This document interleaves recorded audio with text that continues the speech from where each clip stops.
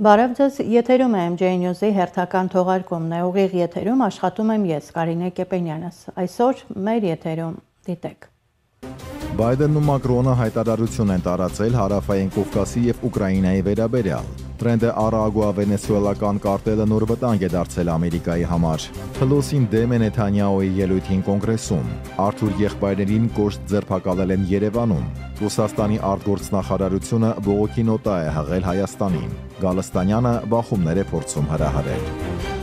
Միացյալ Նահանգների պետքարտուղարի Եվրոպայի եւ Եվրասիայի հարցերով օգնական Ջեյմս Օբրայնը Երևանում է, նա կղեկավարի Ամերիկա-Հայաստան Ռազմավարական երկխոսության հիմնակարային սկզբունքները վերանայելու երկկողմ հարաբերությունների խորացման գործում ձեռք բերված նշանակալի առաջընթացը եւ քննարկելու է հետագա քայլերը։ Վաղը Երևանում տեղի կունենա Հայաստան Միացյալ Նահանգներ ռազմավարական երկխոսության ամփոփիչ նիստը։ Կկայանա արտգործնախարար Արարատ Միրզոյանի եւ Ջեյմս Օբրայանի հանդիպումը, որին կհաջորդի երկխոսության երկու երկրների պատվիրակությունների մասնակցությամբ ընդլայնված կազմով անցկացումը։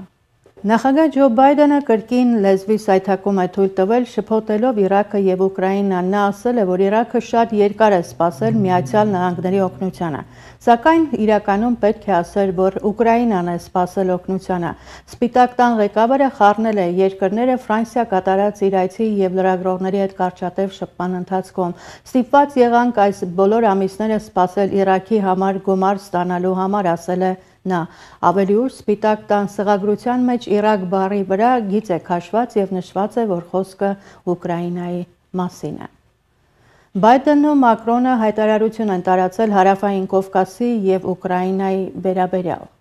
Միացյալ Նահանգներն ու Ֆրանսիան սատարում են հարավային Կովկասում արդարացի եւ տևական խաղաղության հաստատմանը։ Ջո Բայդենն ու Էմանուել Մակրոնը Փարիզում կայացած հանդիպումից հետո հրապարակել են ֆրանս-ամերիկյան ճանապարհային քարտեզը, որում նշել են, թե խաղաղությունը հարավ-կովկասյան տարածաշրջանում պետք է հիմնված լինի միջազգային իրավունքի նկատմամբ հարգանքի, ինչպես նաեւ ինքնիշխանության, սահմանների անխախտելիության եւ տարածքային ամբողջականության սկզբունքների վրա։ Պաշտոնական Վաշինգտոնը եւ Փարիզը սատարում են հետագա ինտեգրացիան ինտեգրացիան հարավային Կովկասում իշահ ամբողջ տարածաշրջանի ժողովրդի։ Ամերիկայի եւ Ֆրանսիայի նախագահները վերահաստատել են Ուկրաինայի դեմ Ռուսաստանի պատերազմի վերաբերյալ իրենց վճռական դատապարտումը, անընդունելի համարելով Ուկրաինայի ինքնիշխան տարածքի բռնակցման փորձը միջազգային իրավունքի, այդ թվում ՄԱԿ-ի կանոնադրության ակնհայտ խախտումով։ Համատեղ հայտարարության մեջ երկու երկրների առաջնորդներն անընդունելի եւ անպատասխանատու են համարել Ռուսաստանի միջուկային հռետորաբանությունն ու սպառազինությունը օգնությունների վերահսկման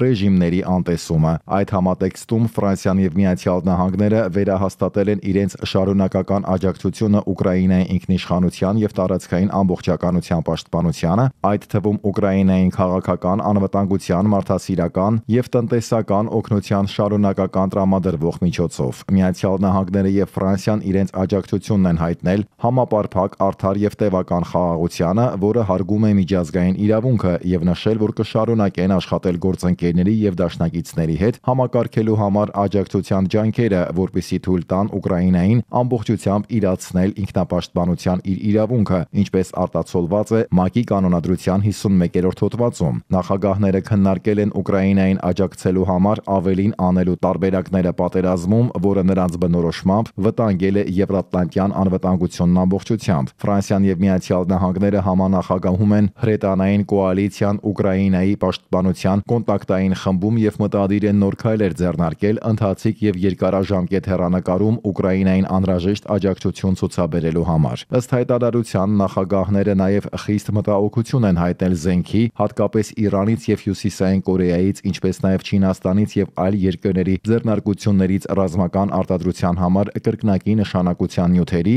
եւ բաղադրատոմսերի փոխադրումների վերաբերյալ, որոնք Ռուսաստանն օգտագործում է վերակառուցելու համար ռազմական ռազմական եւ պաշտպանական արդյունաբերական բազան շարունակելու համար պատերազմն Ուկրաինայի դեմ։ Միացյալ Նահանգները եւ Ֆրանսիան հայտարարել են, որ հավատարիմ են մնում պատերազմի ողբերգական մարդասիրական եւ մարդու իրավունքների համար հետևանքների, ինչպես նաեւ համաշխարհային պարենային անվտանգության, էներգետիկայի, միջուկային անվտանգության եւ անվտանգության եւ շրջակա միջավայրի վրա դրանց ունեցած ազդեցության մեղմանը։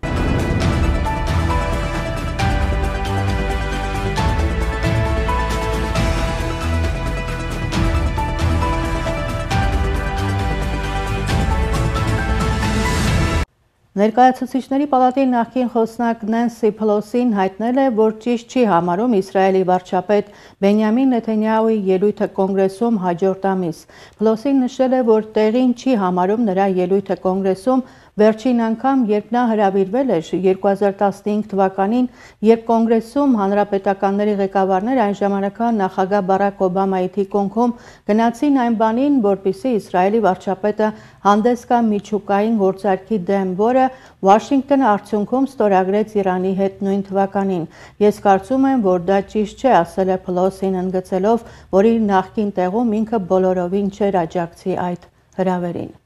Չիկագոյի Արվարձանի բնակչին 60 միլիոն դոլար արժողության COVID-19-ի հետ կապված խոշոր խարդախության սխեմայի իրականացման մեղադրանք առաջադրվել, ինչի արդյունքում Medicare անցյալ տարվա երկու ամսվա ընթացքում վճարել է միլիոնավոր տնային թեստերի հավաքածուների հաշիվները, ներառյալ 4000 մարդու թեստերը, որոնք ավելի ուշ մահացած են ճանաչվել։ 58-ամյա Սաիդ Շոքատ Ահմեդը ձերբակալվել է Չիկագոյի Օհեր միջազգային օթանավակայանում, որտեղից ըստ դատական արձանագրությունների նա իր ընտանիքի հետ պետք է թռչեր Պակիստան։ Այսօր առավոտյան Մայամի բնակելի շենքերից մեկում հրդեհ է բռնկվել, իսկ շենքի աշխատակցին դեպքի վայրում գնդակահարված են գտել։ Temple Court Apartments համալիրում հրդեհը բռնկվել է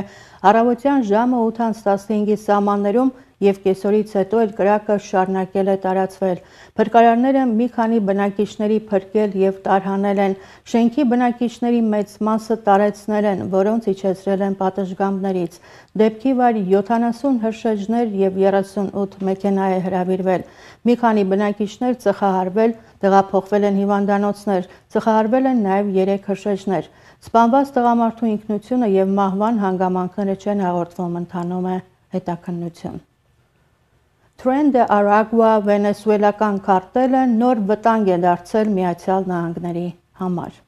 Արևանգումներ, կանանց վաճառք, ոստիկանի սպանություն Ֆլորիդայում, հարցակում իրավապահների վրա Նյու Յորքում, թմրանյութերի վաճառք Չիկագոյում եւ այլուր, սա մի փոքր մասն է այն հանցագործությունների, որ վենեսուելական Տրենդե Արագուա հանցախումբը սկսել է գործել Ամերիկայում։ Տրանսազգային հանցախումբն առաջացել է վենեսուելական բանտում, բայց վերջին տարիներին տարածվում է թե հարավային, թե հյուսիսային Ամերիկայում։ Այսօր հանցախումբը լուրջ վտանգ է ներկայացնում նաեւ նահանգներում։ Դրա ծավալները ամբողջությամբ հայտնի չեն, են, բայց արդեն սկսել են խիստ մտահոգել ամերիկյան իրավապահ մարմիններին։ Կոլումբիայի նախկին փոխնախագահ գեներալ Օսկար Նարանխոն ասում է, թե Տրենդե Արագուան ամենաավերիչ հանցախումբն է, որ երբևէ գործել է Լատինական Ամերիկայում։ Տրենդե Արագուան իր անունը ստացել է 2013-ից 15 թվականներին։ Այդ հանցախմբի ցակման մեջ դեր են ունեցել երկաթողու շինարարության արհմիությունները, որոնք կառուցվում էին Արագուայից Կարաբոբո տանող երկաթողին։ Այսօր սահմանապահ ծառայությունն ու հետաքննությունը Իշխանությունների դաշնային բյուրոն փաստում են, որ հանցախումբը հիմնավորվել է Ամերիկայում։ El Paso-ում FBI-ի հատուկ գործակալ Բոյդն ասում է, թե հանցախմբի անդամները երկիր են հասել ապօրինի ներգաղթյալների ուղիներով շարժվել մինչև հյուսիս։ Սահմանապահ բարեկների ղեկավար Ջեյսոն Օենստել նշում է, թե այն չափազանց վտանգավոր կառույց է դարձել։ Այսօրվա դրությամբ ավելի քան 70 հիշատակում կա հանցախմբի գործունեության մասին։ Տեքսասում Մաքսային սահմանապահ ծառայությունը 58 մարդու նույնականացրել է որպես տրեն Է Արագուայի ավազակ միայն 2023 ֆինանսական տարվանից մինչև մայիս ամիսը։ Ավազակներից 19-ամյա Բեռնարդո Ռաուլ Կաստրոմատան երկու ոստիկանի է գնդակահարել Նյու Յորքում։ 2023 թվականի նոյեմբերին հարավային Ֆլորիդայում մի ոստիկանի էին սպանել։ Ապրիլի վերջին էլ մի քանի կանանց էին ազատել Բատն Ռուժում սեռական շահագործումից։ Ձերբակալված երկու կասկածյալներն էլ Վենեսուելայի քաղաքացիներ էին։ Տրենդե Արագուան թրաֆիկինգի ցանց է կառավարում մի քանի նահանգներում Իրանում, իսկ խնդիրն այն է, որ իրավապահները հստակ թիվ չգիտեն, թե հանցախմբի քանի անդամ է արդեն հայտնվել Ամերիկայի տարածքում։ Ֆլորիդայում հաստատված վենեսուելացի նախկին ոստիկան Ալվարո Բոսան ասել է, թե հանցախումբը Վենեսուելայում կարող է անպատիժ սպանել ցանկացած ոստիկանի։ Ֆլորիդայից սենատորներ Մարկո Ռուբիոն եւ Աննա Մարիա Սալազարը մարտի վերջին դիմել էին Ջո Բայդենին միջոցներ ձեռնարկել Տրենդե Արագուա հանցախմբի դեմ։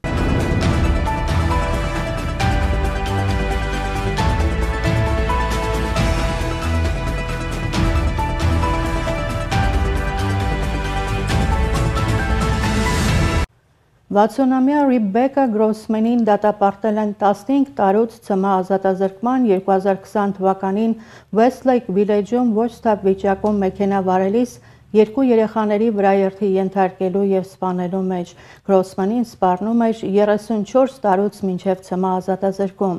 Դատախազների խոսքով նա 2020 թվականի սեպտեմբերի 29-ին սլացել է մեծ արագությամբ բախվել փողոցն անցնող 11-ամյա Մարկ եւ 8-ամյա Ջեյքոբ Իսկանդերներին, որոնք տեղում մահացել էին։ Պաշտպանները պնդում էին, թե դեպքը դժբախտ պատահար է։ Վճիռը ընթերցելիս Գրոսմենը չի խոսել, միայն նամակով դիմել էր դատարանին խնդրելով մեղմ վարվել։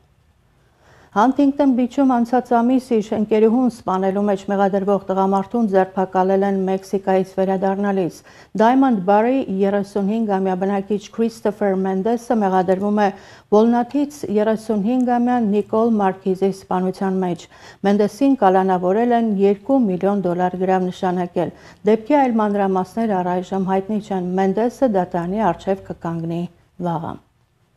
Ոստիկանությունը խուզարկություններ է իրականացրել Սան Բեռնարդինոյում, Ադելանտայում, Հեսպերիայում,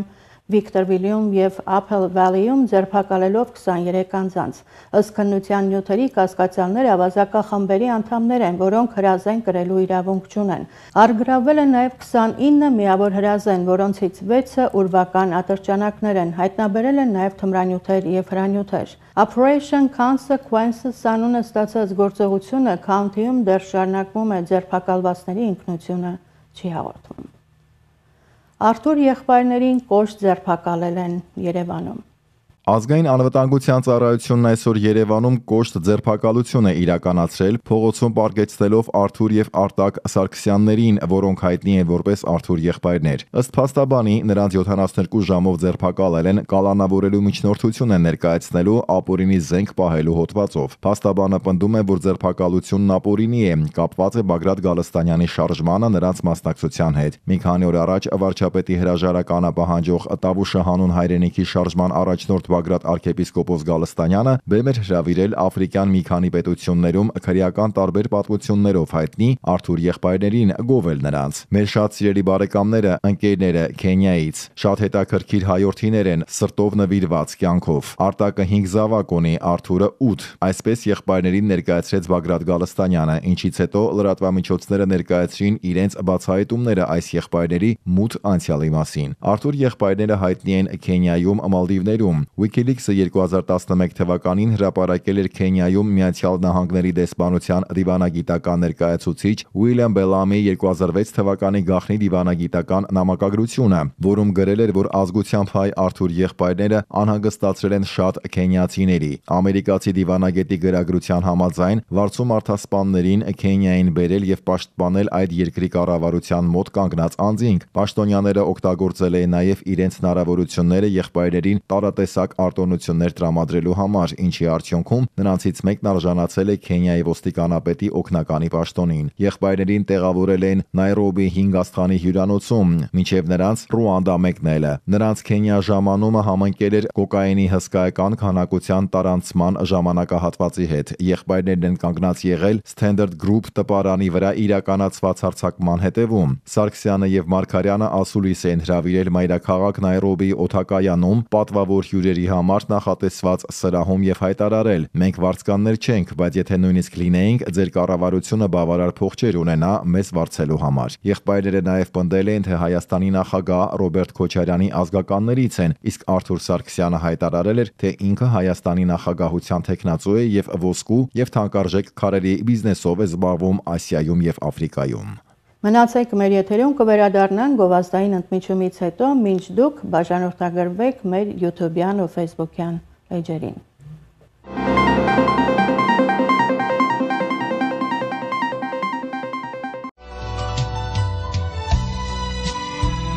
Ճանաչված բժիշկ PhD Henry Քանգի ասեղնաբուժության կենտրոնը ձեր ցավերի եւ հիվանդության իսկական սպեղանի կդառնա։ Կոսմետիկ ասեղնաբուժություն եւ քաշի վերահսկում, մկանային եւ ընդհանուր ցավեր, սթրեսներ եւ վախեր, քնի խանգարումներ, իշիաս, գլխացավ, պարանոցի ցավեր, պրոստատիտ։ Ձեր հիվանդությունը կմնա անցյալում, եթե դիմեք մեր օգնությանը։ Մի հապաղեք, զանգեք, հենց հիմա հերթագրվեք եւ ազատվեք ձեզ տանջող ցավերից 818 385 0916 հեռախոսահամարով։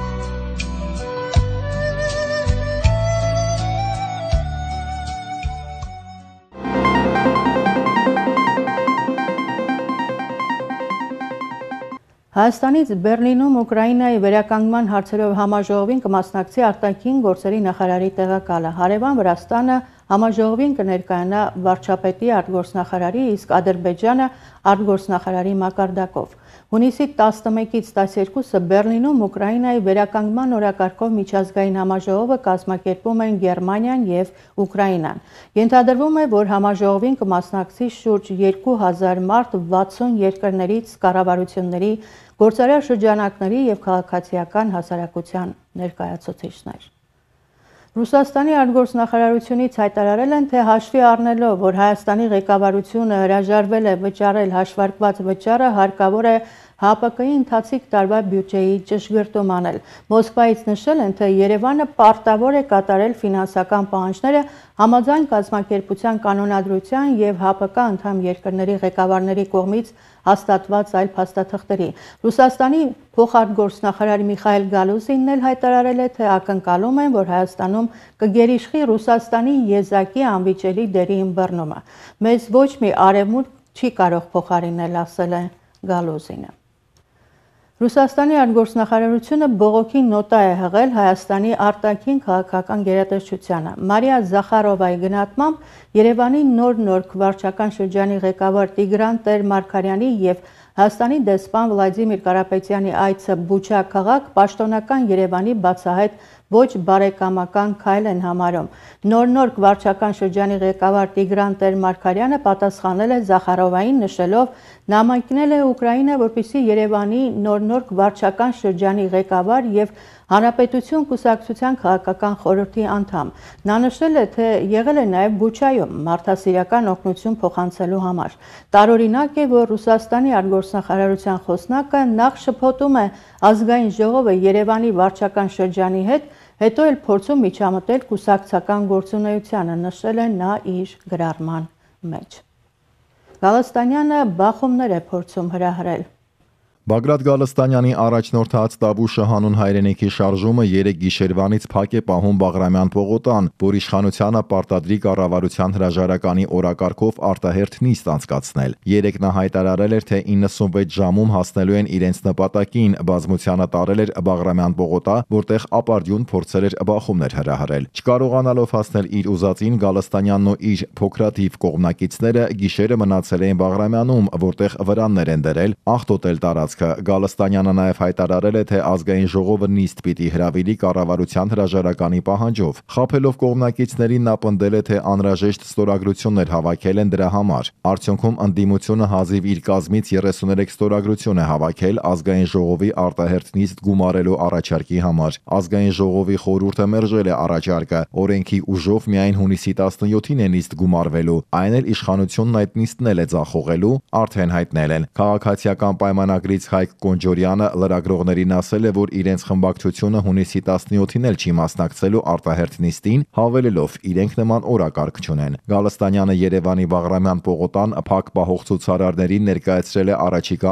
անելիքները, հայտարարելով, որ այսօր կգիշերի ակցիայի վայրում, իսկ հունիսի 11-ին ոչ կենտրոնացված ձևով ակցիաներ կիրականացնեն։ Երեք իբր ընդդիմության վճռորոշ հանրահավաք էր Գալստանյանին հաջողվել էր միայն 15000 մարդ հավաքել հանրապետության հրապարակ հրապարակում, իսկ այսօր Բաղրամյան պողոտայում կայացած հանրահավաքին ընդամենը 2100 մարդ է մասնակցել։ Իրազեկ քաղաքացիների միավորումն աերոնկարահանման միջոցով իրականացրել է հավաքի մասնակիցների անհատական հաշվարկ։ Ռուսաստանի պաշտպանության հետ կապված Նիզավիսիմայա գազետան գրել է, թե Գալստանյանն ու իր թիմը բարդություններ են ստեղծում իրենց համար, մինչ օրս չեն կարողացել բացատրել, թե ինչ են անելու, եթե հայտնվեն Փաշինյանի տեղում։ Իսկ օրեցօր շրջապատողներն ավելի համառորեն պատասխան են պահանջում։ բացառություն չէր նաև Գալստանյանի մամուլի ասուլիսը, որտեղ նա չի կարողացել հոդաբաշխ պատասխան տալ ոչ իր երկքաղաքացի լինելու հանգամանքի խոչընդոտի, ոչ Բաքվի հետ պայմանավորվելու հնարավորության մասին։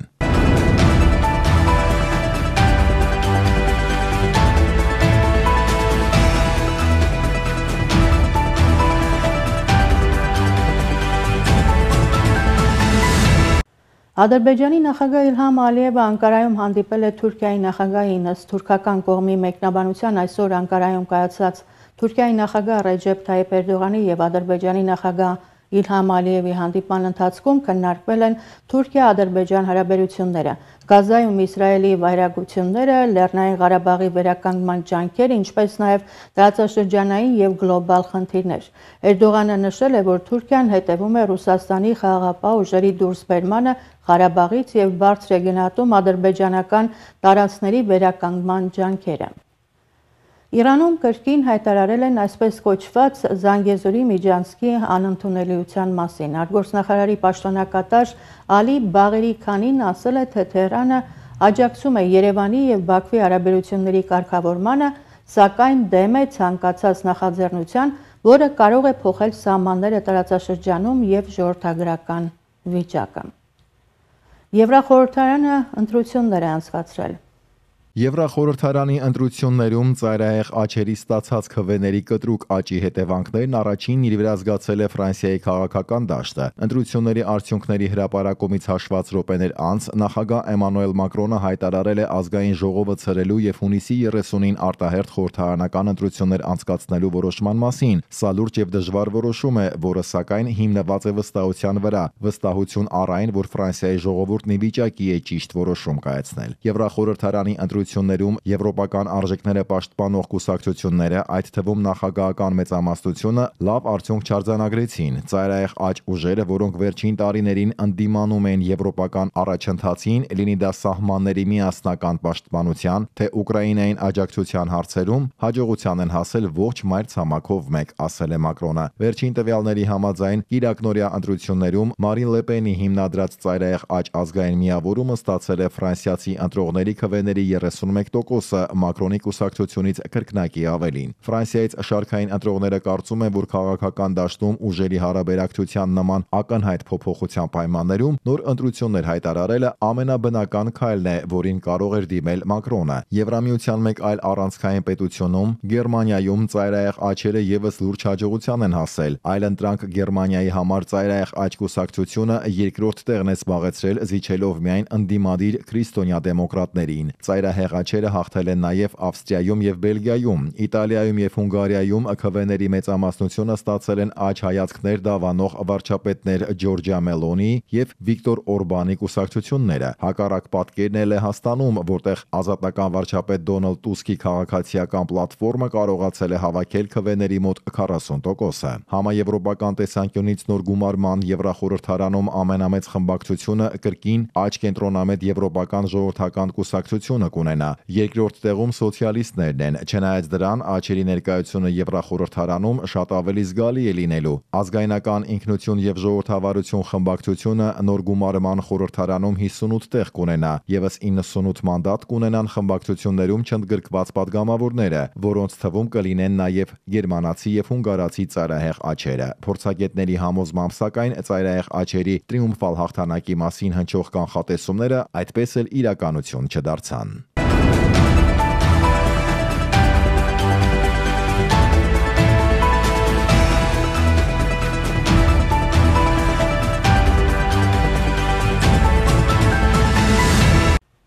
Իսրայելն հայտարարել է, որ ազատել է 4 պատանդների, որոնք առևանգվել էին հոկտեմբերի 7-ին Համասի գլխավորած հարձակման ժամանակ։ Ազատված պատանդներն են 25-ամյա Նոա Արգամանին, 21-ամյա Ալմոգ Մեյջանը, 27-ամյա Անդրեյ Կոզլովը եւ 40-ամյա Շլոմի Զիվը։ Նշվում է, որ պատանդները փրկվել են երկու առանձին վայրերում՝ Նուսեյրատ քաղաքի կենտրոնում։ Ըստ տարածված լուրերի, գործողության ընթացքում 200-ից ավելի պաղեստինցիներ են սպանվել։ Իսրայելի ինդիմության առաջնորդ Բենի Գանսն էլ, որը Համասի դեմ պատերազմ սկսելուց հետո միացել էր արտակարգ ռազմական կաբինետին, հայտարարել է կառավարության կազմից դուրս գալու մասին. Գազայի հատվածի հետ պատերազմյան ապագայի վերաբերյալ Նեթանյահուի հետ ունեցած տարաձայնությունների պատճառով։ Գանցը վարչապետին կոչ է արել հայտարարել նոր համընդհանուր ընտրություն, որում ակնկալվում է, որ ինքը կլինի ֆևրիտներից մեկը։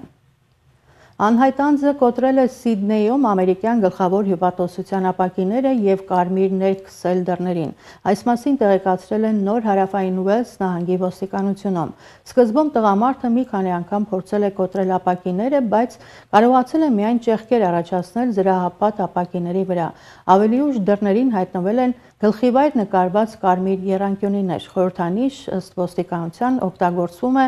Պաղեստինամետ կազմակերպությունների կողմից։ Ոստիկանությունում նաև նշել են, որ փորձագետները ապակիներից վերցրել են մատնահետքեր, որոնք կկցվեն հետաքննության նյութերին։ Գլխավոր հյուպատոսության ներկայացուցիչը տեղեկացրել է, որ միջադեպի հետևանքով ոչ ոք չի դժել եւ դիվանագիտական առաքելությունը շարունակում է աշխատանքը սովորական ռեժիմով։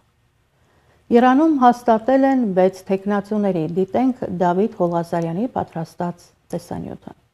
Իրանի Պահապանների խորհուրդը հաստատել է երկրի նախագահի 6 տեխնացուների։ Քվեաթերթիկներում կընդգրկվեն Մահմուդ Ահմադինեջադի օրոք ներքին գործերի նախարարության նախկին ղեկավար Մուստաֆա Փուր Մոհամմադին, ազգային անվտանգության բարձրագույն խորհրդում Իրանի գերագույն առաջնորդի ներկայացուցիչ Սայիդ Ջալիլին, խորհրդարանի ներկայիս նախագահ Մուհամմադ Բաղեր Ղալիբաֆը, Թեհրանի քաղաքապետ Ալի Ռեզա Զաքանին, Իրանի առողջապահության եւ բժշկական կրթության նախկին նախարար եւ խորհրդարանի անդամ Մասուդ Պեզեշկյանը, նահատակների եւ վետերանների հիմնադրամի ղեկավար Ամիր Հոսեյն Ղազիզադե Հաշեմին։ Իրանի արտահերտ նախագահական ընտրությունները կանցկացվեն հունիսի 28-ին։ Մայիսի 19-ին Ադրբեջանից վերադարձի ճանապարհին կործանվել էր նախագահական ուղաթիռը։ Էբրահիմ Ռայիսին, արտգործնախարար Հոսեյն Ամիր Աբդուլլահյանին եւ այլ պաշտոնյաներ զոհվել էին։ Պահապանների խորհուրդը մերժել էր 7 տասնյակից ավելի տեխնացուների, այդ թվում նախկին նախագահ Մահմուդ Ահմադինեջադի խորհրդարանի նախկին խոսնակ Ալի Լարիջանի տեխնատությունները 68-ամյա Ահմադինեջադը համարվում է քաղաքական կոշտ գծի կողմնակից, պաշտոնավարել է երկու ժամկետ 2005-ից 2013 թվականներին, իսկ նրա երկրորդ ժամկետը նշանակվել է 2009 թվականին վիճելի արդյունքների պատճառով բուրըն բողոքի ցույցերով եւ դաժան ճնշմամբ։ Ալի Լարիջանին էլ, որ բավական ջերմ կապեր ունի հայերի հետ, մի քանի անգամ փորձել է մասնակցել ընտրություններին, բայց պահապանների խորհուրդը մշտապես ևս որակազրկել է նրան։ Բարեփոխումները քվեաթերթիկներում ներկայացված կլինեն միայն առողջապահության եւ բժշկական կրթության նախկին նախարար եւ խորհրդարանի անդամ Մասուդ Պեզեշկյանի դեմքով։ Նա չափազանց թույլ տեխնացու է մրցակցություն ապահովելու համար։ Բավական լուրջ տեխնացու է համարվում Իրանի միջուկային ծրագրի հարցերով գլխավոր բանագնաց Սայիդ Ջալիլին։ 2007-ից 2013 թվականներին Ջալիլին զբաղեցրել է Իրանի ազգային անվտանգության բարձրագույն խորհրդի քարտուղարի պաշտոնը։ Ներկայումս նպատակահար հարմարության գնահատման խորհրդի անդամ է։ Վերլուծաբանները գրեթե կասկած չունեն, որ գլխավոր հավակնորդը խորհրդարանի նախագահ Մոհամմադ Բաղեր Ղալիբաֆն է։ 1997-ից 2000 թվականներին Ղալիբաֆը եղել է հեղափոխական գվարդիայի ռազմաօթային ուժերի հրամանատարը։ 2000-ից 2005 թվականները Իրանի ոստիկանապետն էր, իսկ 2005-ից 17 թվականներին եղել է Թեհրանի քաղաքապետը։ Ղալիբաֆն արդեն 3 անգամ փորձել է մասնակցել նախագահական ընտրություններին։ 2005 թվականին զբաղեցրել է 4-րդ տեղը, 2013-ին երկրորդն էր, իսկ 2017-ին ինքնաբացարկ էր հայտարարել։ Եթերում MJ News-ներ, օրվա թարմ դրահոսին կարող եք հետևել նաև մեր սոցցանցային էջերում։